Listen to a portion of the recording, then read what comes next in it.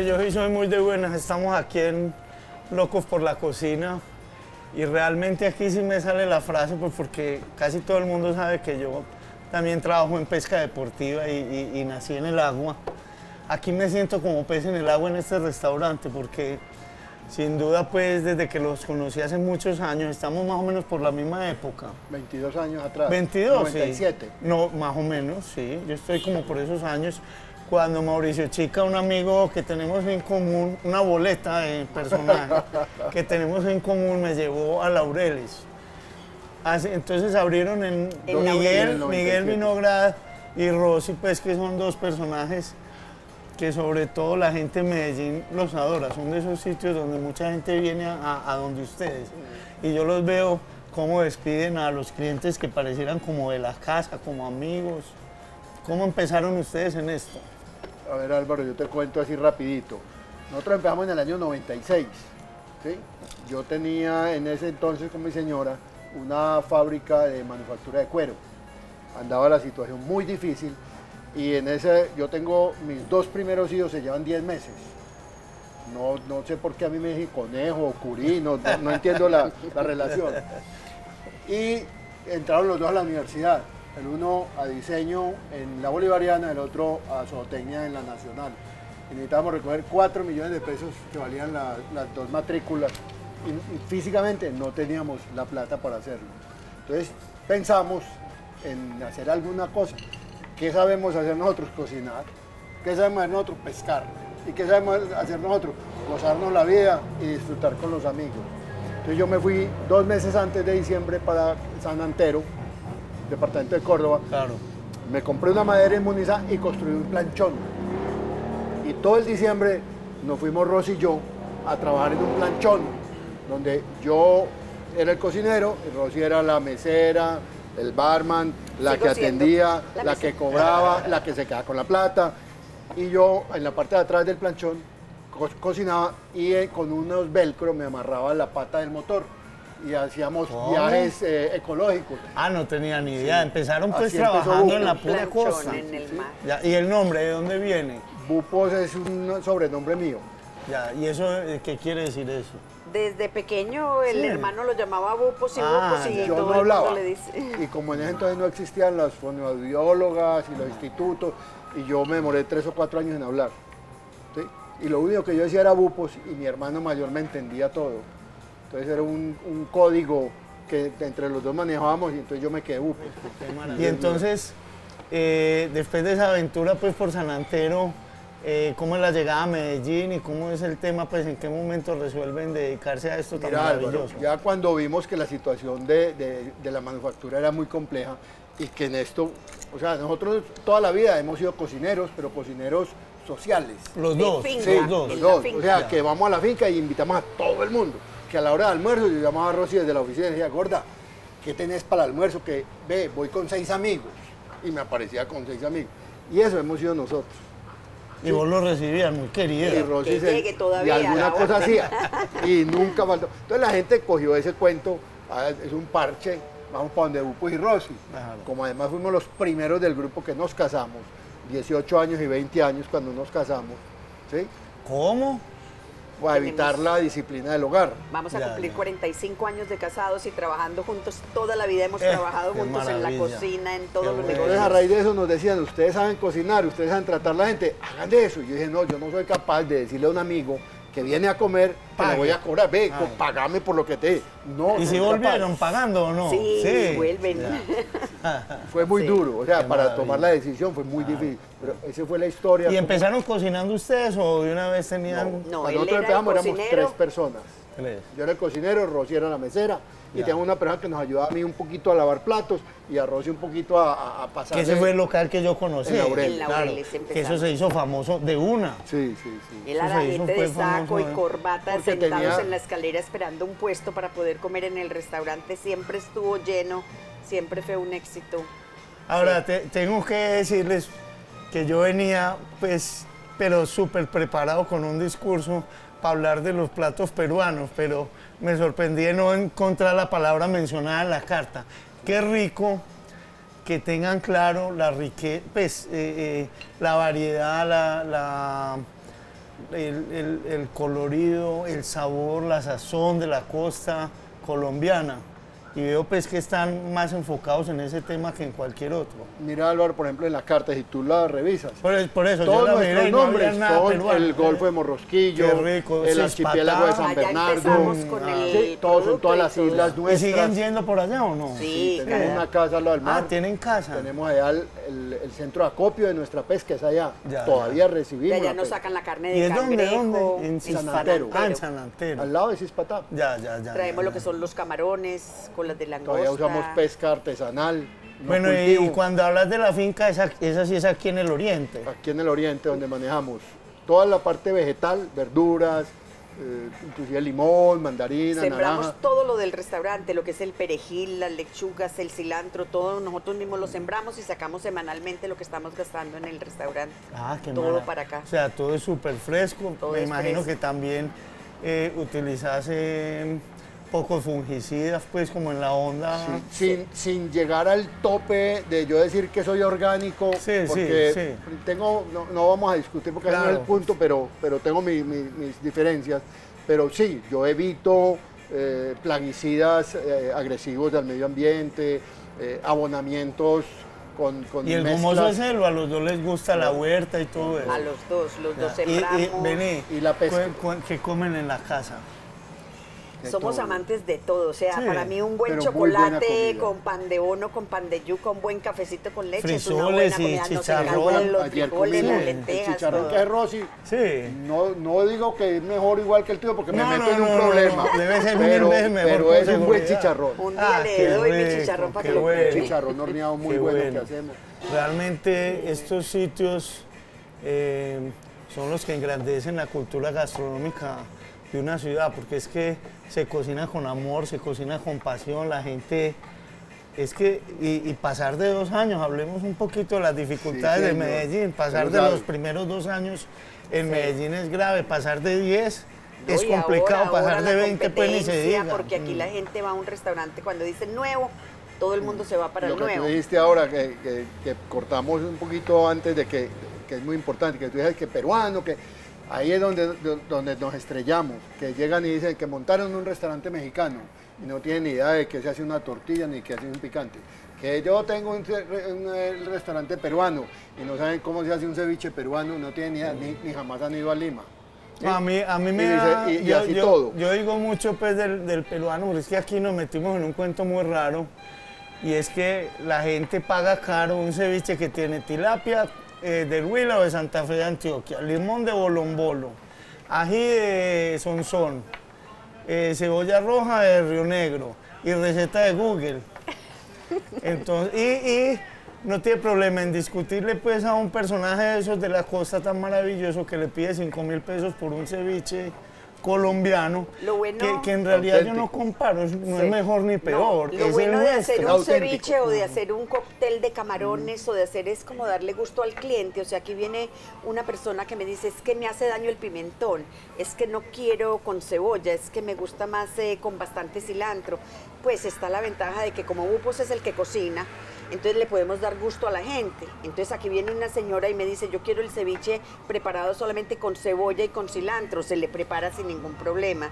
Lo quiero acompañado de un arroz con coco en vez de galletas de soda quiero un patacón porque mucha gente le dice a uno, pero ¿por qué galleta de soda? Pero es que el ceviche, el cóctel de camarón toda la vida se ha comido con galleta de soda. Claro. Entonces no es malo poner la galleta de soda. Claro que yo he defendido un poquito más el uso de los patacones y de ciertas Hay cosas de todo. más Aquí se le puede dar patacón, Pero sí, sí tenemos ese matrimonio con las galletas desde toda la, de toda la vida. Sí en los clubes con el cóctel y con el ceviche, porque había pues yo creo, Álvaro, que eso viene, ¿sabe de dónde? No es ni siquiera de los clubes, viene de los mismos muchachos cocteleros en la playa de Cartagena, en, la calle, ¿cierto? que viene el muchacho con el carrito y cómo hace parte un patacón. Sí, no, no había manera. ellos se fueron montando hasta que llegó alguna empresa y le sacó la galletica en paquetico. O le sacó y entonces encontraron como, como un, suplemento, pero no es porque sea el origen del, acompañamiento de un ceviche. Hombre, aprovechando pues que vengo de un canal de vocación religiosa de la congregación mariana, eh, los voy a confesar. ¿Basa o no basa?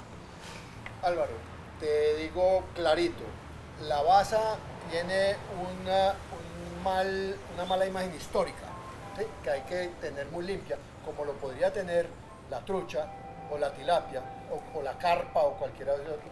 Cuando empezó a llegar a, Latinoamérica y a estos países de, segundo mundo, venía del río Mekong. Ajá, en Vietnam. Un río altamente contaminado, eh, una eh, densidad poblacional del animal donde, la gente se aterraba. Hoy la basa la cultivan en los llanos orientales de Colombia. Claro. La cultivan en, Santander, en Santander, La cultivan en los Estados Unidos. ¿Por qué? Porque la basa es un animal de muy fácil producción. Como la tilapia, como la trucha, la tilapia. Alimenticio. Es como el cerdo, porque el cerdo tumbó todos los otros animales, o la gallina. Porque es, muy fácil. Es muy fácil, claro. El cuento es no engañar a la gente Claro, no, no meter basa por róbalo ni róbalo por basa. Y que el ceviche peruano hecho de tilapia. Sí, sí, claro. Entonces, si es corvina, es corvina. si es tilapia, es tilapia. Y si es basa, es basa. Entonces, hoy por hoy sí se puede comprar basa tranquilamente. Yo pienso que el tranquilamente te lo da tu proveedor. ya, ah, bueno. Hombre, yo voy a ir al almacén tal o a la pesquera tal, donde yo sé que no me engañan. Que no, que no es la que viene de Vietnam. Tú que eres mm. pescador y que eres restaurantero o cocinero como yo, sabemos que un pescado congelado, ay, ay, ay, esos son todos iguales, mm. ninguno huele feo, ninguno... A la final son todos muy parecidos, Entonces tienes que confiar en la honestidad y honorabilidad de la persona que te lo vaya a vender. Bueno, y lo último es que a ver si me dejan entrar a la cocina. Claro, Yo quiero hacer un cevichito. Ah, o sea, yo, yo me he comido aquí unas cosas ricas, pero más que todo pensando pues en las señoras tan queridas que nos ven en Televid eh, poder hacer un cevichito de esos callejeros cartageneros, de Tolú, de San Antero, de Cispatá, del que va en la motico vendiéndolo a 5 mil pesos. Bueno, pero también me vas a hacer un platico que ahora te digo cuál. Listo. ¿Listo? Bueno, qué rico estar aquí con ustedes.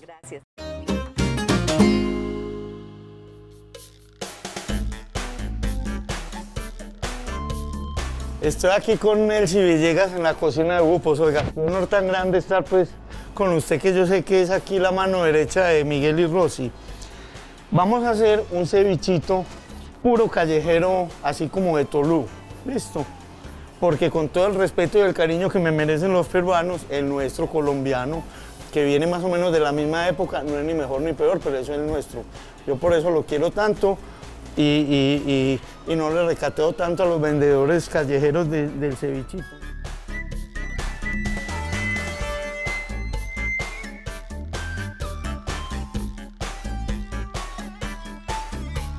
Entonces vamos a empezar con unos camarones precocidos. Nelson me va a ayudar. Empezame a partir el limón, por favor. A los camarones les vamos a poner sal. Este elemento que es bastante, eh, digámoslo, polémico entre cierto nivel de cocineros muy dediparados, pero que a mí me funciona mucho y me encanta, que es la salsa de tomate, que no la podemos negar en nuestra cultura colombiana. Bueno, a eso le vamos a agregar cebolla roja, no, mucho más, necesito otro poquito, sí. Cebollita roja picada, ají dulce o pimentón, cualquiera de las cosas que tenga la señora a mano en la casa, mucho cilantro, a mí todo el cilantro siempre es poquito, un tris de pimienta y ya verá pues quién le quiera poner ajo o unas gotas de vinagre blanco que es pues lo que, lo que usualmente se, se le pone. Yo no le voy a poner nada de eso, simplemente pues para facilitarle la vida a la señora con lo que tenga en la casa.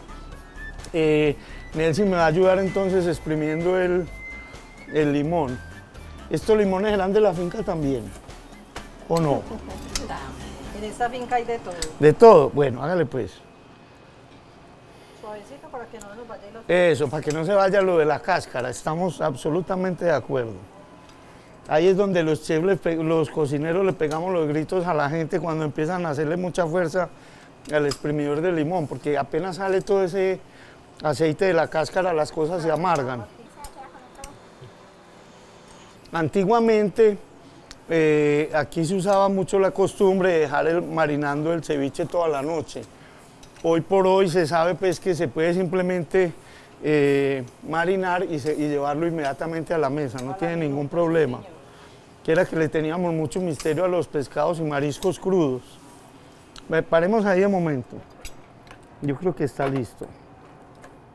Entonces, bueno, esto simplemente lo revolvemos un tris ajustamos la sal. A ver, usted pruebe, me dice cómo está de sal. Bien. Sal está bien. Sí. Ah, bueno. Y lo ponemos aquí, bien elemental, sobre una hojita de lechuga de esa que todo el mundo tiene en la casa. Eso simplemente pues con el fin de presentarse lo mejor a la familia, pues que siempre es el mejor comensal que uno debe tener. Y un par de patacones que reemplazan la galleta, porque la verdad pues es que a mí sí me gusta más con los pataconcitos. En todo caso, usted se lo va a tener que comer. Ah, y ahora yo robo un poquito de arroz que vi por allí también para terminarlo de matar. Nelson, mil gracias, mil gracias, muy querida. Bueno, vamos a probar a ver estas delicias de, del amigo Álvaro.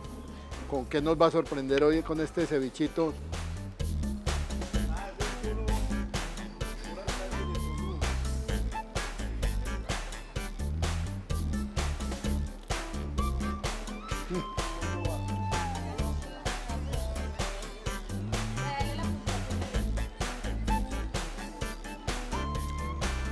Ceviche colombiano de Tolú.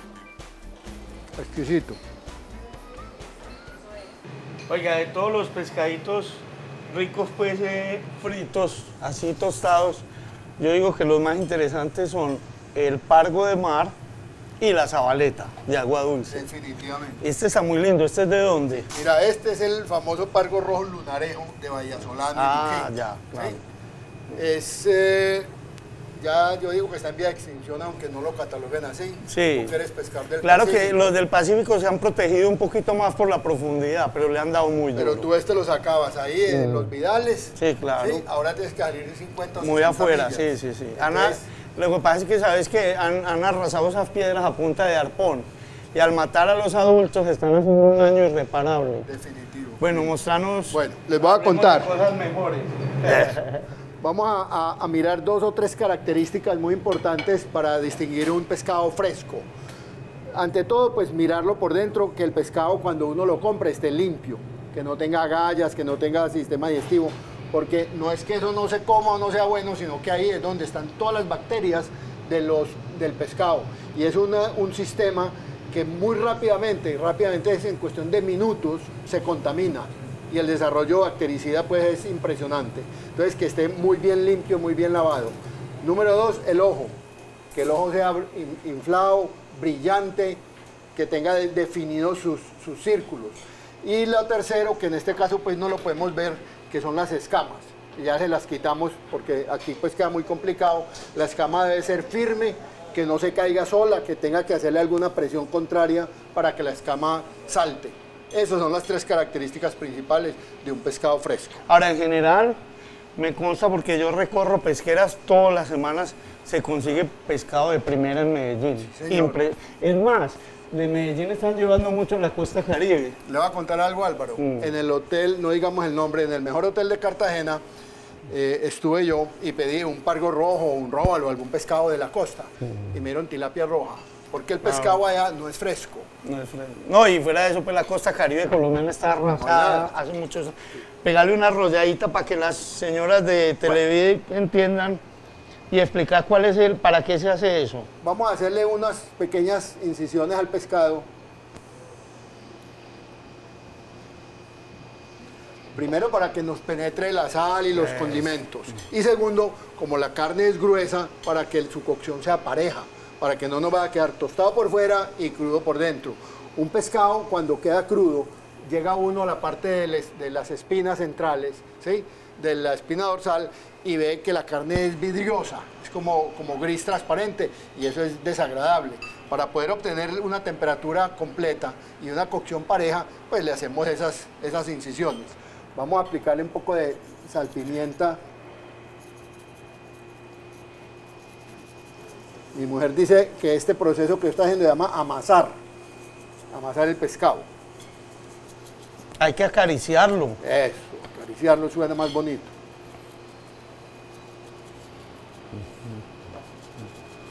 ¿Y este pescado tenés todo el año o es por temporadas? Desafortunadamente es muy escaso ya. Nosotros de los 12 meses tenemos unos tres o cuatro meses este pescado. Ya, ya. Eh, Pero, pero lo tenés en la carta o se lo ofreces a la gente. En la carta ponemos la, la explicación que dice solo en temporada. En temporada. ¿Cuál es la desgracia? Que tú cuando vas a Europa o Estados Unidos la temporada es el invierno, el otoño, el verano o en fin. En Colombia me dicen, bueno, ¿y cuál es la temporada? dije, no, cuando dejen que crezca y cuando dejen que salga. Sí, total. Entonces no hay una temporada definida, de decir en tales meses, ¿cierto? Lo que Entonces, pasa es que Colombia teniendo pues uno de los, de- siendo uno de los países con más recursos ictiológicos pues y, y acuáticos de agua dulce salada tiene un problema pues gravísimo ahora de extinción de especies. Vamos a poner eso Bueno, que es que ya no veo la hora de comérmelo. los trucos de cocinero que uno dice, pues como no puedo meter el dedo para probar la temperatura, entonces uno le mete la colita al pescado y ahí ve, que no salte, que no chille, pero que sí eh, eh, que, que salgan la, la espuma. Vamos a colocarlo dentro del...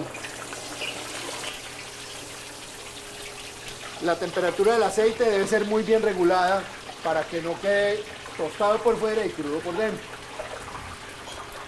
Ahora, pero en, en términos de la señora pues de barrio es en alto, en Sí. alto. O En sea, el fogón de la casa es en alto. en, en el máximo En de el alto. temperatura. Ajá, perfecto. Sí. Él ahí obviamente va a ir perdiendo un poco la temperatura, va a bajar la espuma y va a, a- a cocinar en una temperatura media. Bueno, vamos a ver, yo creo que ya tenemos el pescado listo. Lo dejamos escurrir un poco.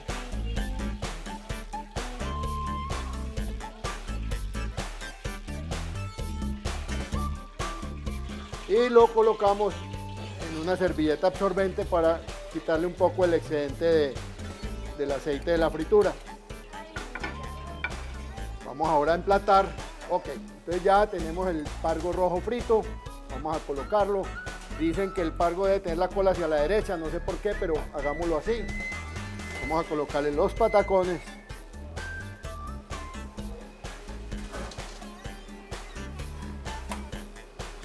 Y lo vamos a acompañar con un arroz de coco y una ensalada de campo fresca. Ese es el plato cartagenero. Aquí con esta maravilla de plato, pues el plato cartagenero por excelencia, el pargo frito con patacón y arroz con coco, terminamos este programa. Claro que yo quería primero, no me puedo ir de aquí sin hablar de esto. Cuando uno viene a Bupos, no solamente pues puede comer rico, sino que se puede llevar el salmoncito y la trucha ahumada. ¿Cómo es esto de los ahumados, Miguel? Mira Álvaro, este es uno de nuestros nuevos desarrollos, digamos de hace 4 o 5 años para acá. Estamos manejando salmón ahumado en humo caliente y salmón ahumado en humo frío, que es el que se conoce como carpacho. ¿sí? Y ahora metimos el producto que es la trucha ahumada. Estos, pues por excelencia, son pescados de carnes muy suaves, muy ricas nutricionalmente hablando, tienen los- todos los omegas. Hoy día, pues están muy, en- muy de moda, pues en la gastronomía sana Ajá. y saludable. Y nos metimos con el cuento del humo. Es un ahumado que nosotros estamos manejando con una, primero tenemos una certificación kosher, que es para la religión judía, religio- eh, eh, eh, una certificación muy estricta.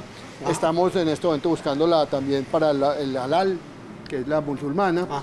Y tenemos unos estándares de calidad, como por ejemplo que podemos certificar que nuestro humo, aunque es humo natural de madera de naranjo, es 95% libre de, de los tóxicos que tiene el ahumado, El humo, como son ajá. el alquitrán, Claro. eh, todo ese tipo de cosas que es donde la gente dice, ay, es que el ahumado da cáncer.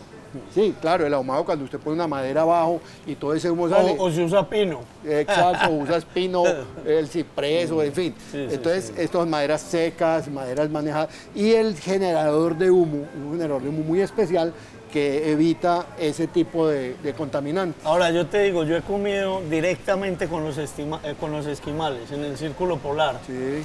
y me gusta más este.